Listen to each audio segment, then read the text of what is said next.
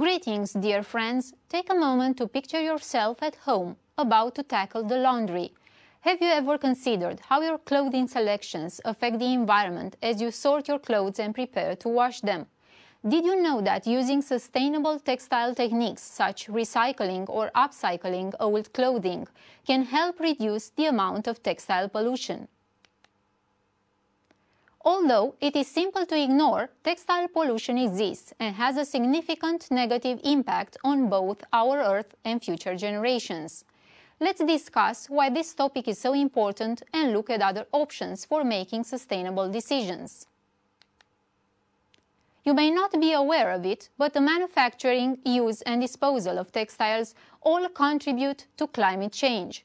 The production of textiles is an important industry and it poses problems regarding energy use, carbon emissions, and waste creation. However, adopting sustainable practices can help mitigate the environmental impact. Many industrial processes depend on fossil fuels, including spinning, weaving, and dyeing. How can energy usage be decreased? We already know that using solar or wind energy reduces our reliance on fossil fuels and that increasing the effectiveness of current operations through precise control mechanisms and resource optimization can lower energy usage. Have you considered the carbon emissions associated with moving clothing across long distances?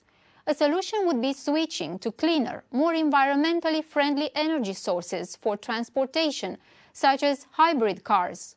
Alternatively, you might support local businesses and buy locally made textile products to reduce the need for long distance transportation and carbon dioxide emissions.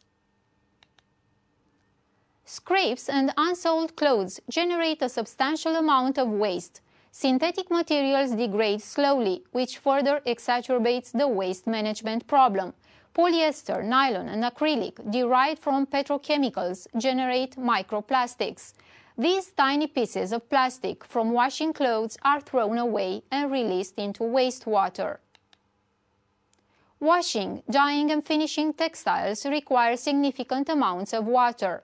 Water extraction from natural sources can lead to water scarcity in regions where textile production is concentrated.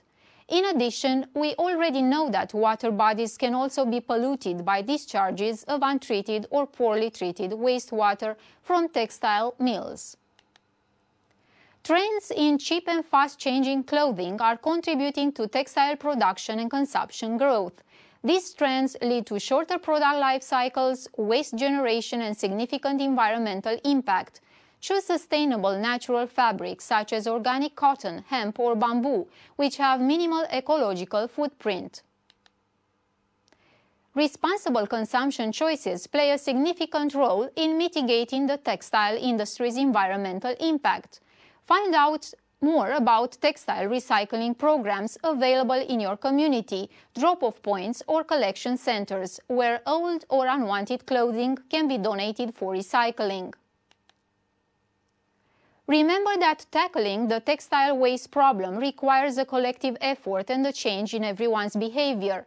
By promoting sustainable choices and raising awareness, we can work towards a greener and more responsible approach to textiles and fashion. Start today by spreading the word and joining our community at www.vr4learning.eu.